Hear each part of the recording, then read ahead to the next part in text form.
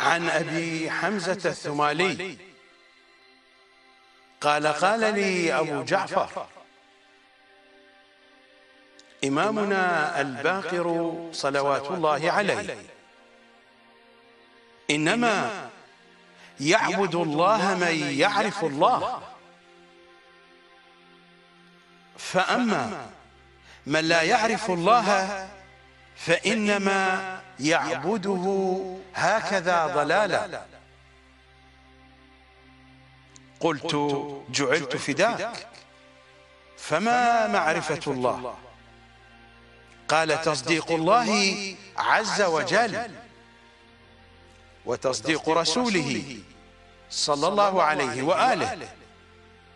وموالاة علي صلوات الله عليه. والائتمام به وبأئمة الهدى. صلوات الله عليهم.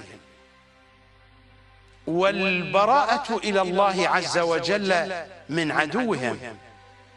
هكذا يعرف الله عز وجل.